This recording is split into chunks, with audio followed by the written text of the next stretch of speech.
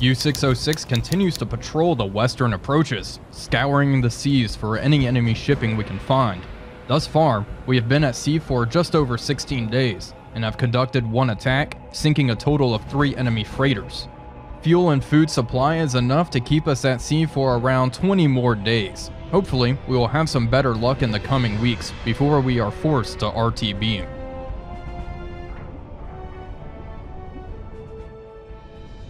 Hello everybody, Wolfpack here, and welcome back to another exciting U-boat video. U-606 has encountered a lone merchant ship, and we are getting into the action right off the bat here. If we go to our map, we can see here is the enemy freighter. It is closing in on our position, and it looks like it's heading like 080090, something like that.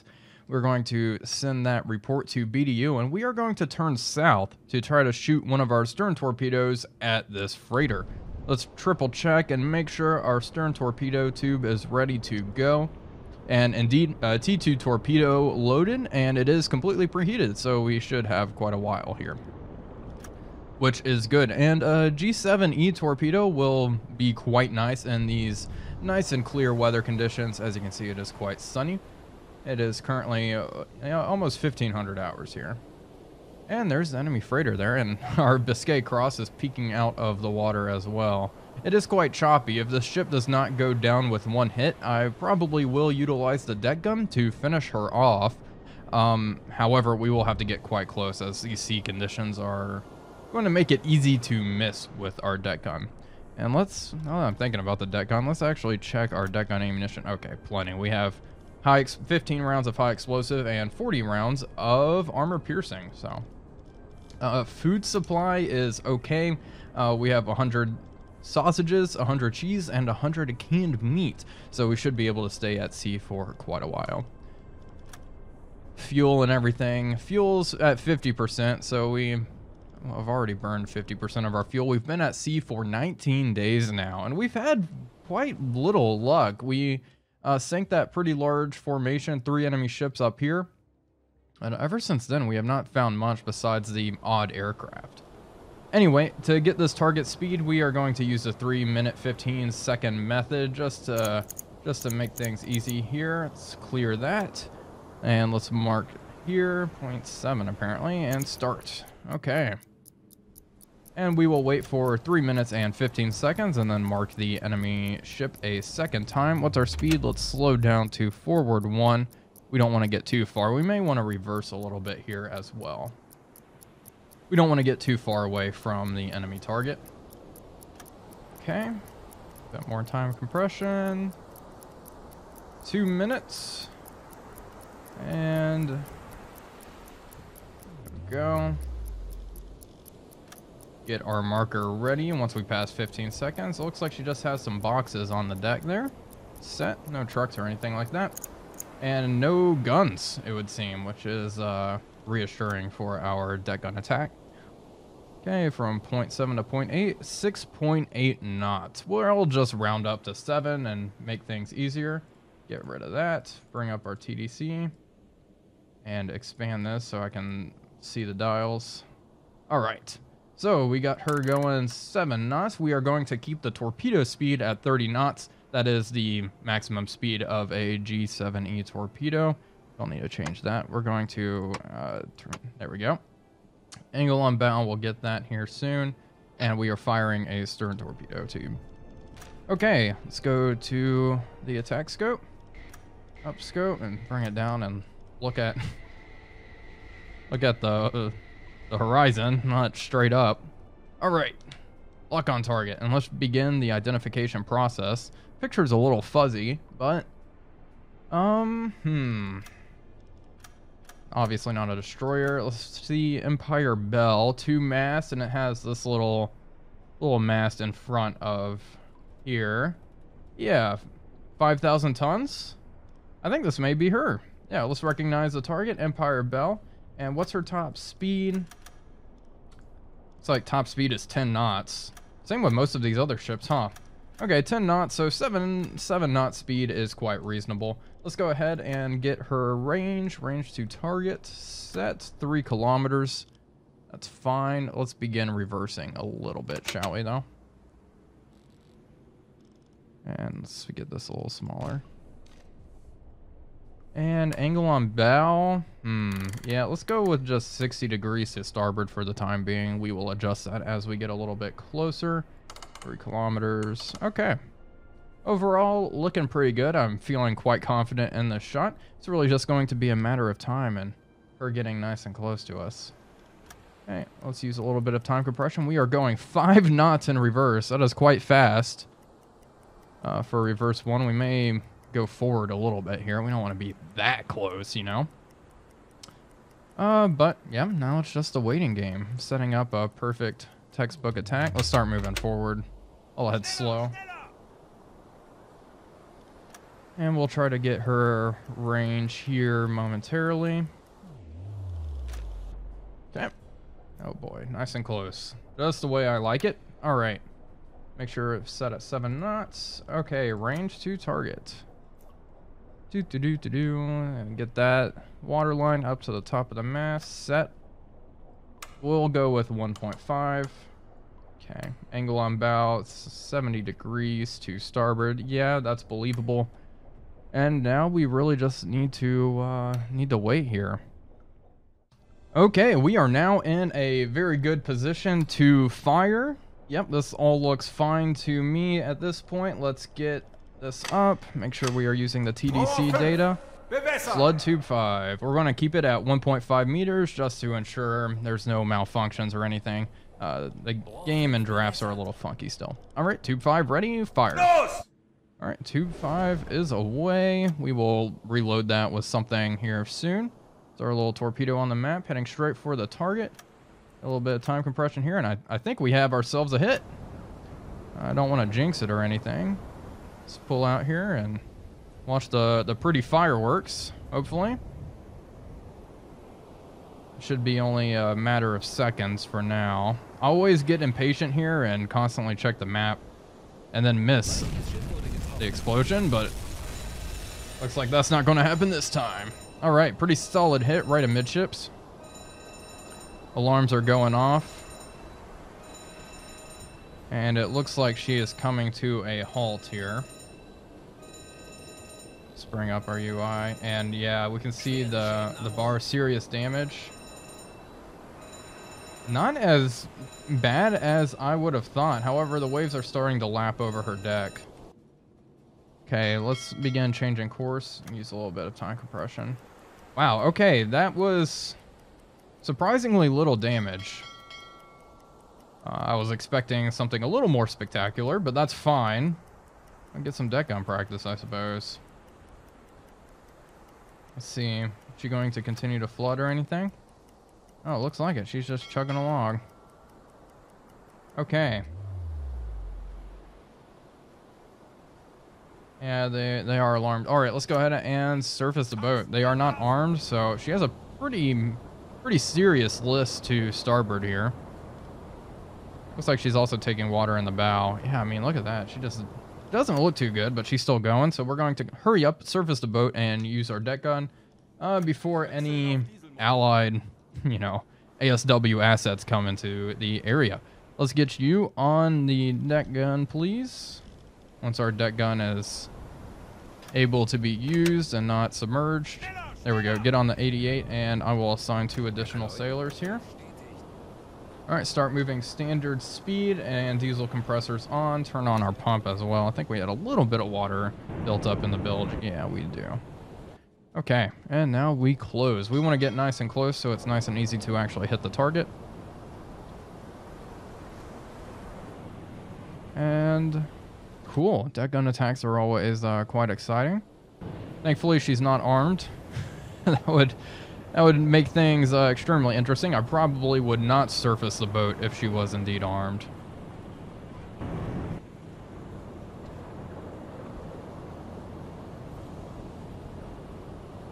And there they go. The crew's running to the deck gun.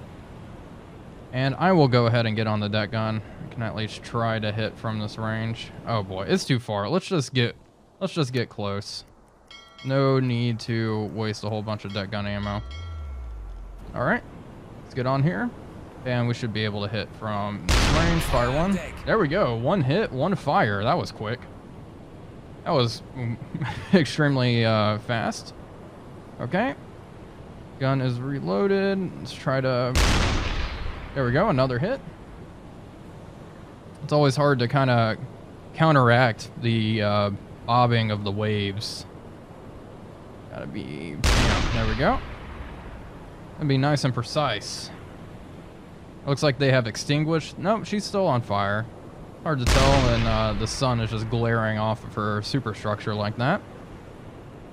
Down to 11 rounds of high explosive.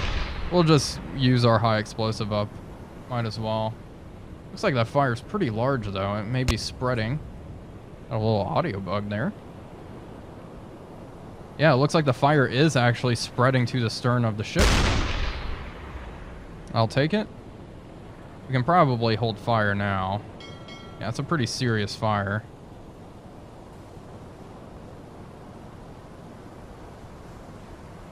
Yeah, I think uh, I think our job here is done. I'm being honest. Oh, look at that. Golly. That's quite uh whoa, what the hell just happened? There we go. She's sinking. Beautiful. Let's send that report into BDU and get the hell out of here before enemy aircraft arrive.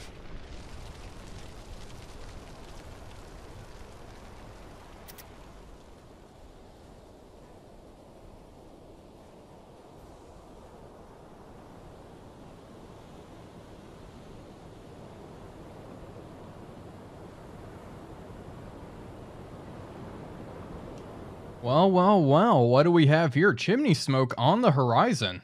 Oh, this is surprising. I, I, I do not encounter uh, lone ships this frequently. Let's get our radio man on and turn to intercept. Okay, send that in. It says it's a tiny group, just one one ship. Do I... Looks like she is heading east as well. We may have come across a lone shipping lane here. Okay. Well, I will take it. Alright, looks like we will be attacking in grid BE34. 38. Let's just keep moving north and increase speed to standard. Okay, we are closing in nicely. I want to stay on the surface. Oh, geez, look how rough it is. Ouch. Um, actually, periscope depth, please. Let's go down to periscope depth. And go ahead and get on the hydrophone now. Make sure there's nothing else lurking out here in the area. Okay, we are down at PD, and you, my friend, can get off the radio. We do not need you there. Detection. Okay, another lone freighter. Oh, I do not mind if I do. We move forward. And we should be able to get into an intercept position nice and easy. Down to slow speed. Looks like this one has some uh, jeeps and a couple of trucks on it. Okay, well, Time for just another textbook attack, I suppose. Nothing too fancy. We'll fire one torpedo, and then if it doesn't go down, then of course we will use our deck gun again. We have 40 rounds of armor piercing, so uh, we should be able to do quite a bit of damage with that. Okay, passing 3 minutes and closing in on 15 seconds. This method is just the easiest to get a very accurate speed reading set, and why not Make things a little easy. Okay, seven knots. Seven knots again? Okay. I'm not complaining. Just surprised. Uh, let's set up our TDC for this sort of attack. We are going to be firing a bow torpedo, of course, uh, just because we're already in position. Angle on bow is going to be the starboard and speed, just at seven knots. And there we go. We are set. All right. Okay, time compression time. Let's, uh, Let's start moving one-third speed just to get a little bit closer to the target, because at this rate, I mean, we are quite far. It's like well over two kilometers away. And it kind of looks like she has slightly changed course, heading a little more northward, but I, I may just be imagining things that is, that is very possible. okay, a little time compression to get nice and close, slow down. And we will begin identification here extremely shortly. Okay, let's begin all of that good stuff now. Up scope. Captain's always looking at very... And oh my gosh. This fog has to have just come in here. There she is. I can see her smoke. Okay, we need to get close. Are you... Schneller, schneller! Wow, this fog layer just came in? That is fascinating. I love that. That makes it a little more interesting, huh? Okay. Let's get try to get nice and close. That's why this thing is just rapidly uh, changing. Okay, slow down. We don't want to be within 300 meters of the target, which we are going to be now. Okay, up scope. We can reverse though.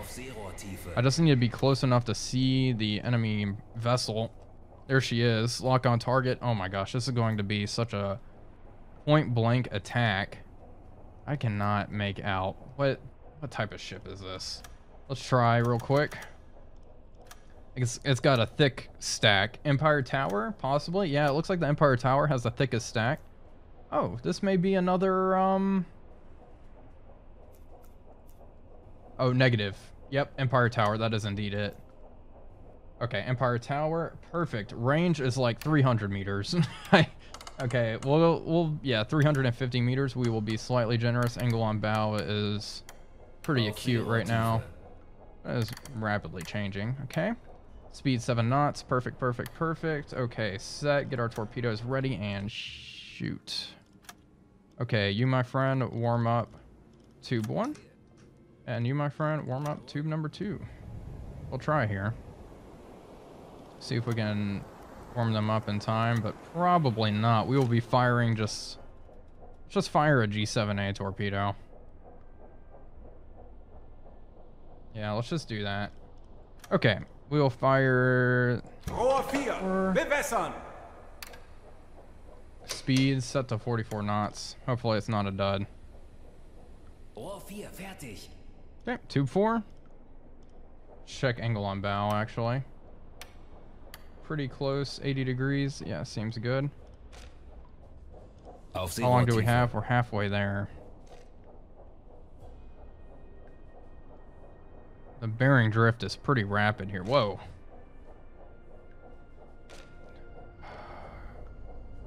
Do I wait? Start moving forward. Do I wait and fire at a worse angle? I think I will. To remove the chances of duds, I think I will. okay. We'll fire tubes one and two. I also want to ensure a hit. Uh, we sink it with two torpedoes. Yeah, we don't have to wait too long. There we go. My bad. I sh certainly should have checked, and our conning tower is approaching the surface. Okay. Locked on target. Rudder midships. Okay, angle on bow seems to be pretty close to 90 actually right now. So let's go ahead and plot that in. Angle on bow, just set it to 90. Impact angle, be a little funky. Reduce speed to 30 knots. Okay, let's not waste any more time. Bring this up, tubes Rohr one and two 1. Bewässern. Dispersion. Rohr 2. Bewässern. Yeah, point. Very narrow spread. Wait for those to flood. Close. Okay. Torpedoes away. And they are turning towards the target. Should be far enough away for them to arm. To be 300 meters away for our torpedoes to arm. And I, I do believe we are farther than that. Let's just do a quick check. Yeah, around 400 meters out. A very close attack. The fog definitely made this quite dynamic. I, I do like that sort of thing. Okay. I like how every engagement being a little little different, and it did add a challenge. Also, me realizing the torpedoes weren't preheated added a challenge, but there we go. There's one hit. Two hit. I think that's all she wrote. That mast falling over. See you later. Lots of fires breaking out on the uh, on the deck there. Oh boy, brutal. The fog looks quite nice in this game as well. I mean, I, I don't say it enough. Like this lighting as well. The from the fire on the uh, ocean, just graphically, this game is. I can't give it enough praise. It looks great. Looks like some men have made it to the life rafts, and she is burning, almost from stem to stern. But I think, yeah, she's pretty much done for. Torpedo hit the enemy. And no, we have the official report. She has sunk. Okay, let's go ahead and get our radio operator on here and shoot that off to BDU.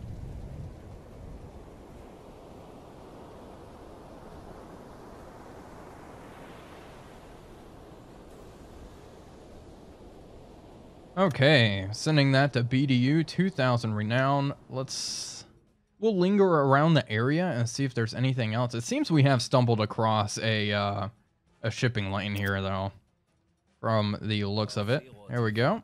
We'll go ahead and reload those torpedoes, and we are going to head out into the North Atlantic. I do want to try to find a very large convoy. I think that would be an excellent way to round out this patrol, but we do have to consider we are starting to run low on uh, fuel for one. We're at the 47%, and also food. Food will be a consideration.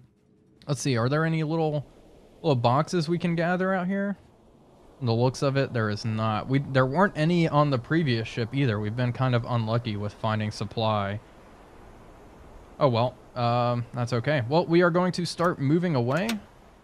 All ahead one third, and uh, let's put some distance between us and the sinking.